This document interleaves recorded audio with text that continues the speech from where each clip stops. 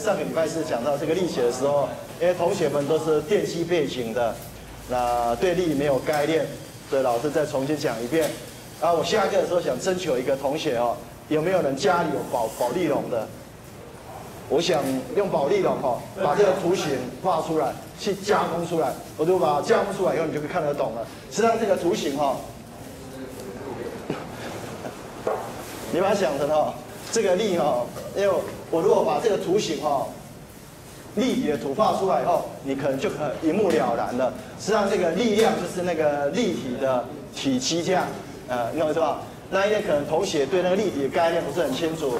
如果同学动手做能力很强的人哈，可不可以来讲一下？老师拿钱给你，而且把保利龙去把它切出来，这样我跟你讲一下怎么切。那你我拿同学给各位看，那就礼拜四还有今天讲了，就完全都懂了，你懂意思吗？哈，那目前是你们很难理解这样啊。那待会我会把上个礼拜的小考发给各位哈。那我先把这个例题讲完这样。这个是我们课本的例题，这样，在例题里面是说，蓝色这是一个活动式的一个甲本，你们要想是一个水库这样，那粉红色你们要想就是水泥结构，然后我们在在那个，因为会根据那个水库里面的藏水量需要的时候，呃，这个甲本可能会把它往上升这样，让我们有兴趣的是这个蓝色这个部分它承受的力量，因为我们要算那个力。目的是要去算那个结构材料要用多厚的材料才能够承受那么大的力量。如果那个材料是很薄的，很明显的，这个材料这个夹本就容易坏掉。这是从力学的概念。那因为这个流体是不动的，所以我们叫做流体静力学。实际上直接在想，就是算算这个啊。那因为我们知道那个在水下的压力哈，深度 h 的地方承受的表压力是跟比重再乘上。乘上深度的意思嘛，哈，所以在 A 点这边承受的压力等于多少？是不是两倍的伽马，对吗？哈，应该，呃，在 A 点承受的压力多少？是不是伽马 H？那伽马 H 是两公尺嘛，哈，那在 E C 点呢，承受压力多少？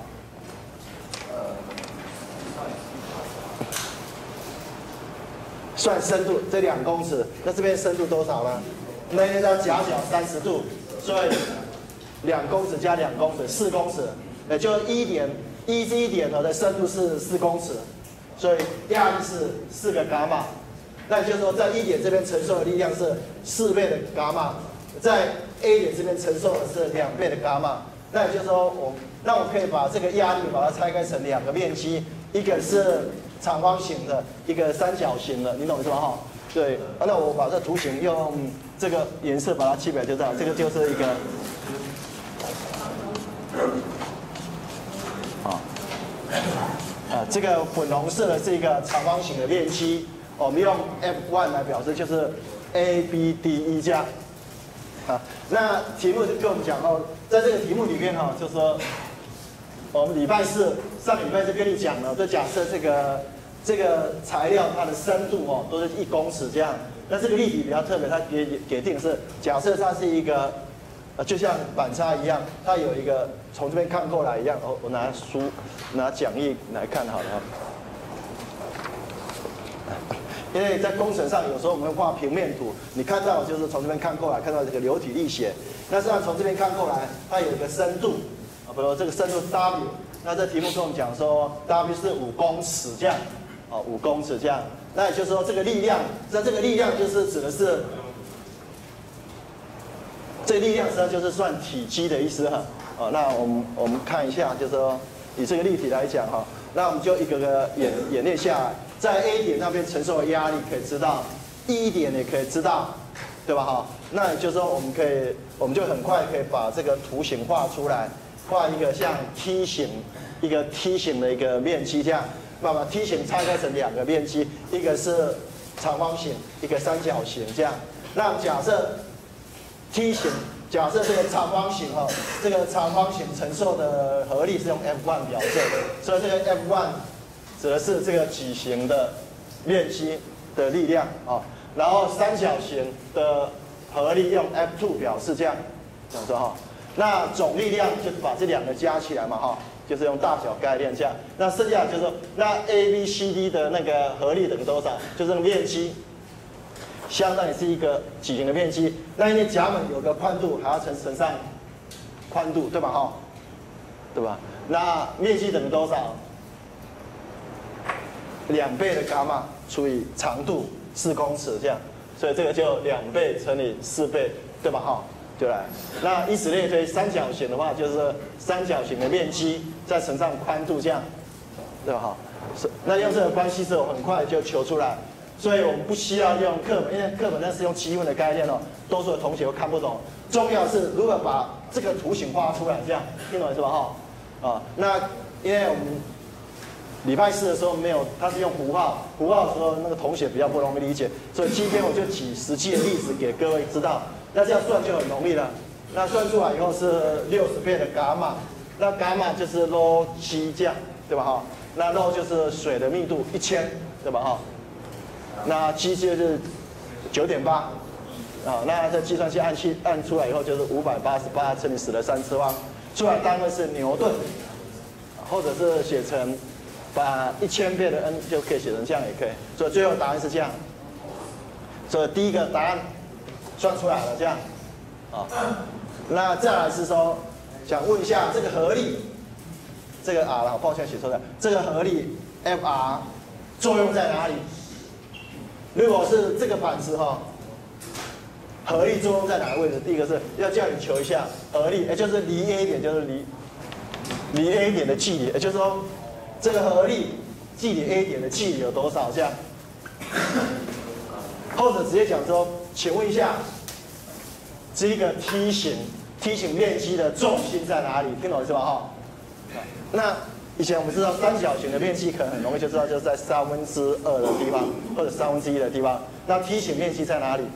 哦，因为没有学过，实际上你们可以回去用简单的算可以算得出来。那老师是等一下是用力计的概念，这样我对 A 点取，啊，就对 A 点哈，对 A 点取力计这样，啊，这个 M 就是把它想成英文的 moment 力气对 A 点。那因为这个对这个立体来讲，这个夹门哦并没有在转动，这样，所以这个力气和是等于零的。那我们知道。F one 乘上 Y one 加 F two 乘上 Y two 应该就等于 Fr。用这个关系式，我们就可以知道这个力量乘上力臂嘛，哈，这是合力 F one 的力气，这个是合力 F two 的力气，这是总合力乘上它的作用位置，这样。那利用这个关系式哦，我们就可以求出它作用的位置出来。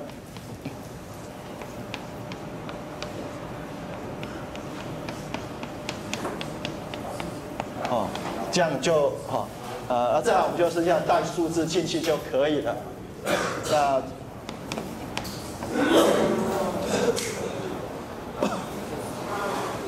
哦，这个最后求出来的答案哈是二点二二。什么意思呢？离 A 点，离 A 点哈，从 A 点开始往下二点二公尺的地方，呃，作用在那边这样。力量哈，力哈，我们不是就等于压力，平均压力再乘上面积嘛哈。那那个它的平均压力等于多少？是不是等于两倍伽马嘛？对不对？面积多少？那个。那个那一个面积是甲本是高度，它的它的长度是十公尺，深度多少？五公尺对吧？所以应该是它的长度。那个甲本不是有个面积嘛哈？这 L 就是长度嘛哈？就等于等于二伽马乘以四乘以五。啊，这样对吗哈？啊，啊，这样的四乘以 W，对吧？哈，哎，有没有问题？怎么样？A 点的压力。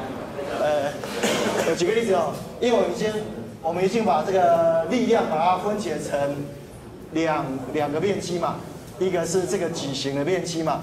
那这矩形的面积，矩形的压力，不管在 V 中间哪个地方都一样。那它压力多少？两倍伽马嘛，对吧？哈，啊，所以所以它平均压力是两倍伽马。然后面积呢，长度乘上深度四公尺乘上五，对吧？哈，所以出来是八十，这样了解是吗？哈。因为 A 点的压力多少？二二伽马，对吧？哈。它有宽度嘛？我起宽度起到跟它一样，是这两倍伽马。啊，呃，我就是把这个压力哈，我把这个压力图哈，把它分解成两个面积。我用蓝色哈，我把它拆开成两个面积这样。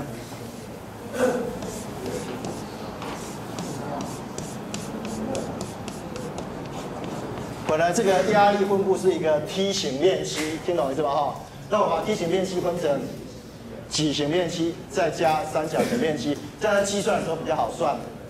好，呃，你也可以用积分的方式，积分可能同学会更难理解。那也就是说，我可以把这个面积，实际上是我们是要求这个梯形的面积的，啊，梯形的体积，还是？为什么那个？一、二、三四哪一个？B 嘛哈，哎对。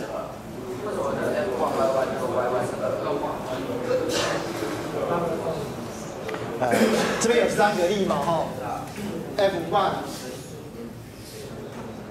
对 F one 到 A 点的力气有多少？我们设 Y one 嘛哈，力程。那 F two 到 A 点的力气就 Y two 这样。哦，那这边有个力量，那理论上这边还有个力量会把它顶回来，这样。那我们假设这个合力是这样，啊，那这个气体是指的是合力作用的位置离 A 点的气体，这样。我想问是为什么是 Y one？呃，Y Y one，就这个长度啊，重心在哪里？啊，对了，F F 就重心。啊，那 Y 二的重心在哪？三角形的重心就是离 A 点三分之二 h 的地方嘛，是不是哈？啊，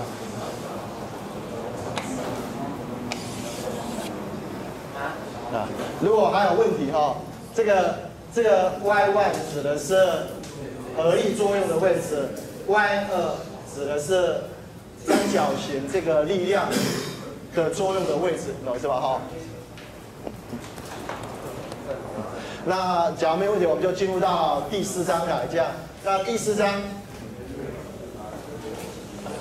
啊，第四章，不好意思哦，就没有力学的概念，不，就力力学的这种计算比较少一点。但是它会出现一个工程数学的向量跟积分的概念出现，就是了。那这中文是积分的形式哦，就是一个想问一下，control volume，换成中文叫控制容积或者控制体积，在热力学有学过吧？啊，就指的是我们在讲白话用，就是讲开放式的系统的意思，这样哦，流体力学一样。那有时候我们还会。有一种是我们在热力学里面、流体力学里面，有时候我们讲系统控制容积，系统比较像我们所谓的一个封闭式的系统，啊，另外一个开放式的系统比较像属于这个东西。那我们上课的时候，希望同学把这英文术语记一下，CV 这样，就是控制容积，就是讲我们分析的问题这样。控制表面什么意思呢？热力学里面讲的 control surface 是。边界的意思，这样，我们在分析系统的时候，一定有分析的问题，然后以一个边界气温，边界里面系统跟外界的意思嘛，哈。所以，但是在热力学或者在流体力学里面，它用的术语是叫 CS，它不叫边界，上我们就讲边界就听得懂。那这因为这个是外国人，他们因为在十八世世纪哈。呃，外国是一个强势，在科技上面所用的符号都用国外的专有名词，这样听懂意思吗？哈，就不是用华人的，所以这个 control surface 就讲边界，你不要讲边界，哦，一个分析的一个边界，这样。那这边呢，就是一个基本的形式。到第五章、第六章以后，我们就会讲微温的形式，这样就是描述数学的时候，流体力学的时候会用到一些数学公式，而这个是用积分的公式。到第五章以后去讲微分的公式。那微分不是常微分，是用偏微分。那各位写的流体力学都会碰到机会比较多的是偏微分方程式这样。那也就是说是比较不熟悉的了哈，不是幸运哈，是比较麻烦的这样。那我们开始哈，我们开始，我们首先哈，我把这黑板就擦掉了。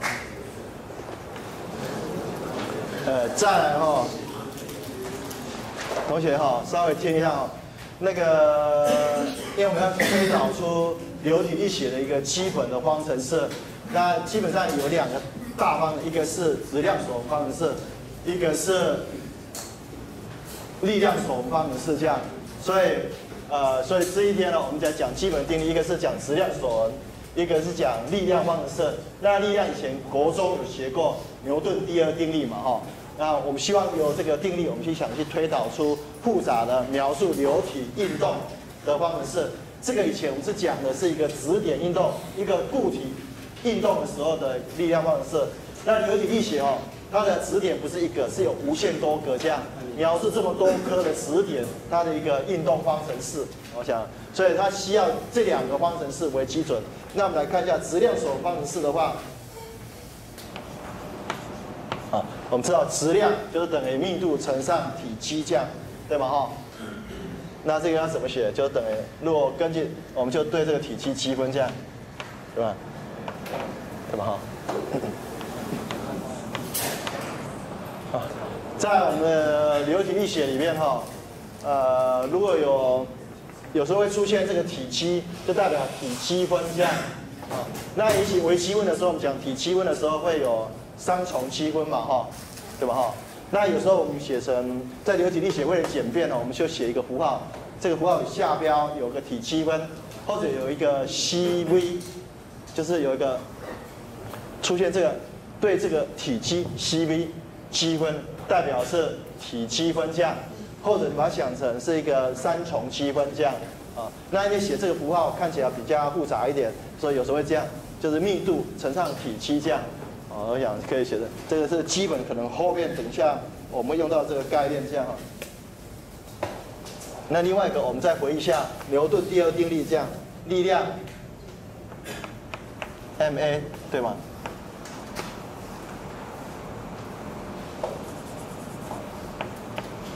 是不是牛顿第二定律哈？力量乘以质量乘上加速度，那这个加速度是什么意思呢？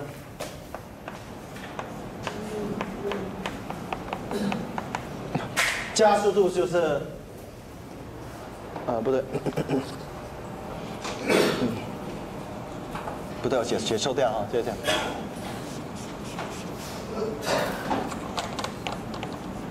抱歉哦，我们以前写的质量习惯用小写哈，那这个流体力学里边它用大写的代表质量，或者小写都一样的意思，这样，啊，这个，所以这个是用 m，m 乘上 a，然后。就是等于 P 这个地方的 P 哦是一个动量，动量就是质量乘上速度，也就是对线性动量做一次微分，就是所谓的加速度的力量。这样，我们是就是这样，就是。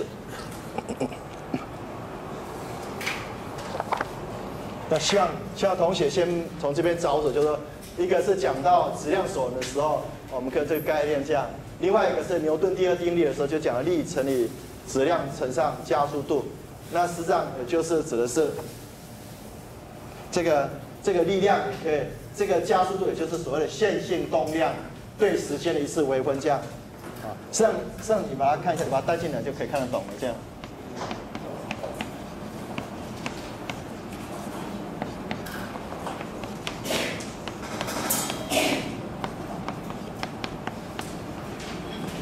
对吗？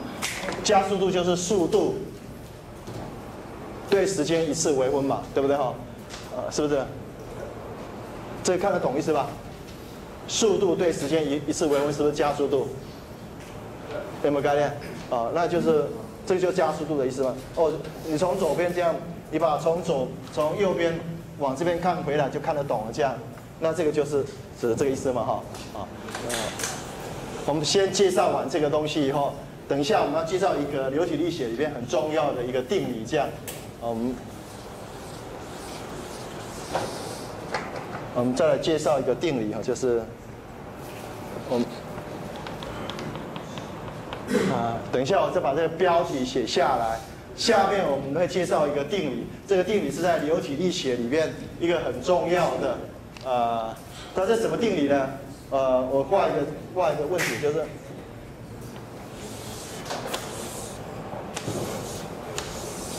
你把它想有学过拉普拉斯转换有没有？有。拉普拉斯转换就是从时间的问题转换成到 s 空间里面嘛，哈。那这个联络传输定理哈，就指的是一个系统，这个系统，而那个是控制容积，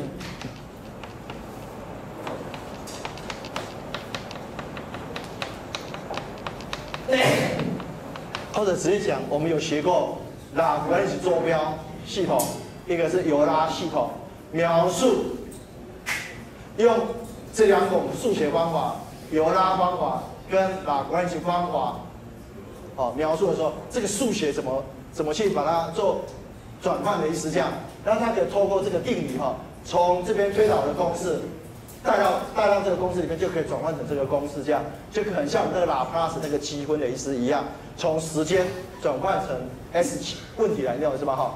那这个定理自己说这个定理怎么导的，我们就不讲，就是它是用来描述一个系统跟控制容器之间数学之间的一个相互关联性，这样，那这个定理我可能把数学式写下来，那我可能好好跟你解释一下。那它会有一些符号，那这个符号可能第一次看到也不用不用担心哦，老师会跟你解释清楚。啊，啊，这个，它这个这个公式哈，你会发现左边这个是讲系统概念，右边是讲。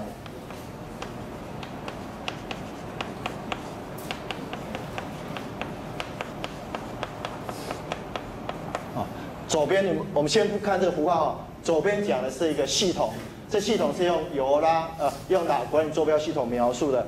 那右边这个是比较讲 Control CV，就是开放式系统，CS 就是边界，好讲边界。那左边这个比较像是一个呃用呃拉管理坐标系统把坐标放在你所分析的指点上面的意思这样。那这两个关联线，那这 n 你把它想成就速度好了，你也可以想成质量。这 n 只是一个其中，我把它解释一下，n 哦，就是流体的性质。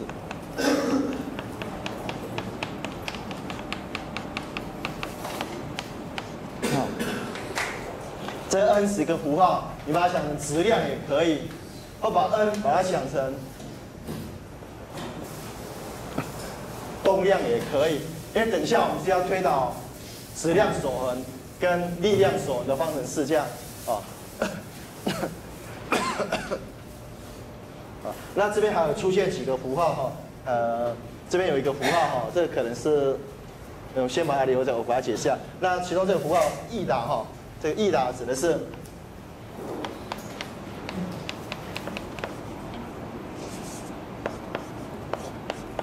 啊，就是。这个这个系大是就是 E 大，E 大是指单位质量流体力学的性质，这样，也就是把这个 n 除上 m 这样。例如哈，例如 n 等 m 的话，如果这个符号里面这个 n 代表了质量，则这个 E 大就等于一这个数字，这样就很简单，这样，好，就一这样。那如果 n 等于如果是 n 等于线性动量的话。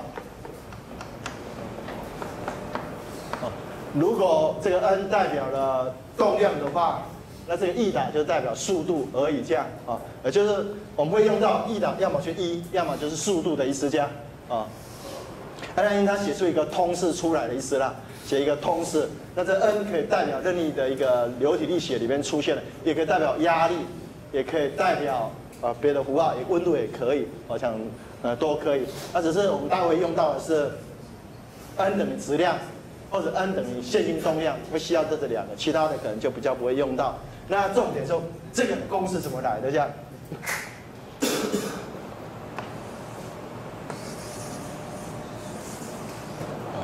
那我把这标题写一下哦，这个四十二节就是讲，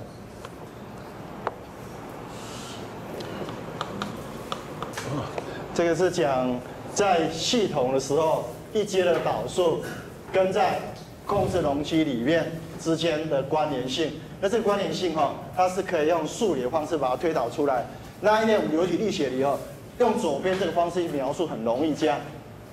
哦，用拉管理坐标描述流体力学哦，它用的公式很简单这样，但是流体力学因为它是分子有无限多个，我们一般我们会用尤拉坐标系统，也就是最后我们看到的公式是要用右边的方式描述，用左边很容易推导，大家用的时候是要用右边的公式这样，那怎么办呢？我们只要左边这个东西可以推导出来，我们代入这个公式，我们就可以把右边的东西就导出来，就是。哦，这道 idea 是这样。如果你推导用右边，一开始就用右边的方式推导哈，那那个推导会比较复杂一点。你可以用左边的公式，把流体力学相关的公式把它推导出来，再代入在这个公式里面去，把它转换过来，要转换到这边来。哎，那这个定理就是在描述系统跟控制容积之间这种呃这种公式之间的关联性。那希望同学去看一下课本怎么推导这样。那那推导里面会用到很多数学这样。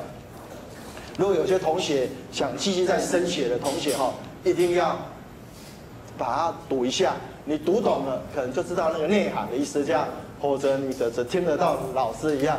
啊，你把它想成这个就是 Laplace 一样，时间的 domain，这个很像是 S 的 domain，你懂意思吧？那它透过什么关系？透过这个等号关系，类似把 Laplace 对哦对那个物理量做做区分一样啊。那呃，因为我们会用到这两个物理关系，这样 n 等于 m 的时候，或者 n 等于线性动量的时候，把它带进去，这样我们可以得到这个关系是这样。那我们先来看看质量守恒方程式好了。我们来看一下质量守恒关系哈，质量守。我们刚才前面有讲过哈，呃，如果用系统的观点的话，哦，我们来看一下，我们来看一下那个，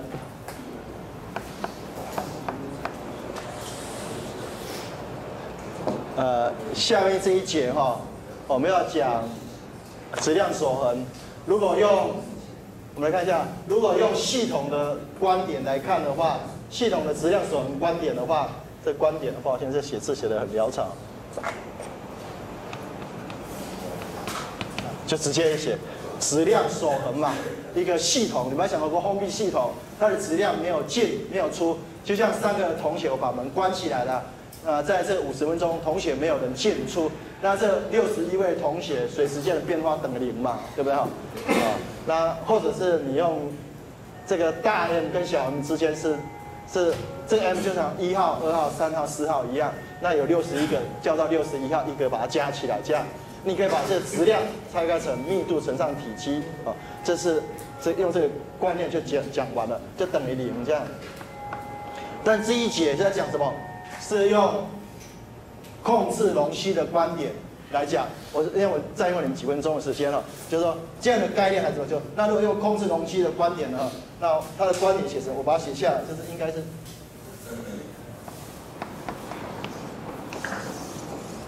这个公式是。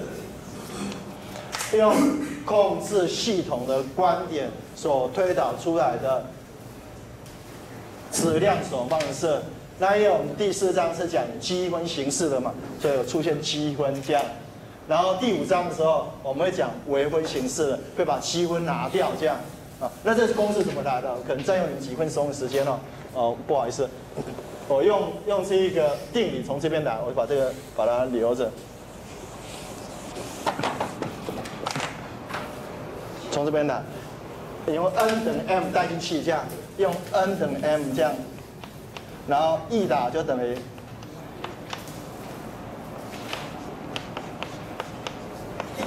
好，我们把这个四个用，我们把它代入哈，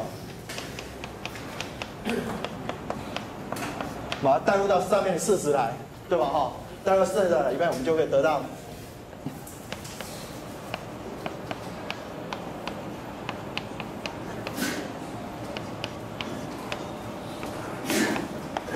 那这个 E 塔等于多少？一嘛，哈。然后 E 的加。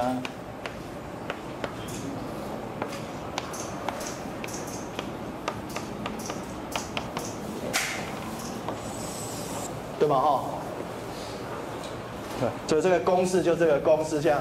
那我可能要跟你们再解释一下。那这个这个很像是什么意思啊？我们流体力学、热力学里面指的是，哎，如果这系统不是一个稳定的系统的话，这个指的是在系统里面的质量随时间的变化力这样。那这个呢，什么意思呢？经由边界进出所造成的质量改变力，对吧？哈。那出去的为正还是进来的为正？流出去的为正。哎，这个哈，呃，这个，这个哈，这个记得流出去的为正，因为这个定义的关系，这样，这个是这个叫通量，速度通量，速度乘上面积嘛，flux 有等于有速度再乘上面积，就是我们所谓的通量。那因为速度跟面积刚好是什么方向是怎么样？我如果我如果以以严管的例子来画哈，严管来讲，速度这样进来，对吧？那面积呢？它的面积什么方向？它的面积是，对吧？哈，听懂意思吧？哈。所以速度乘上面积，刚好方向颠倒，对吧？这是负号。那一般来讲，你所以以这个例子来讲，这是进来的，是负的，听懂吗？那以这个例子来讲，这边是速度是啊，面积呢？方向，对吧？哈，就同一个方向，出去的为正，啊，啊，我画这示意图可能画的不是很小。以路口来讲，以这个地方来讲，这是路口嘛。路口速度跟面积刚好成相反方向，所以这里这个呢内积算出来会有一个负号，这样对吧？哈，那这个呢在出口处的话，面积方向，这个指的是在这边就速度是同一个方向，所以内积是正的，所以这个值哈，所以我们呃礼拜四会跟你讲这个通量哈，流出去的为正，流进为负，那纯粹是因为数学的定义造成的这样啊。啊，那老师只是画这示意图，让你感觉一下，在入口处的话，因为速度的方向跟面积的方向颠倒嘛，啊，对吧？哈，那我们知道这两个相乘的话，就是大小相乘，再乘上夹角，那它夹角是负一百八十度，cosine 的，呃，不对，cosine 负一百八十度等于多少？负一，对，那这夹角等于零，cosine 零度等于多少？一。对吗？哈，那今天哦，就上到这一边。